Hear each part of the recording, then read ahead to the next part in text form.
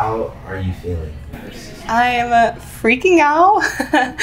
I'm so excited. Um, it doesn't even feel real. I feel like today is something that I've prayed for for so long and have gone through so much just to get here. And so it's just crazy that it's finally here and that today's the day that I marry Caleb. I vow to love you and to trust you and to honor you for as long as the Lord lets me.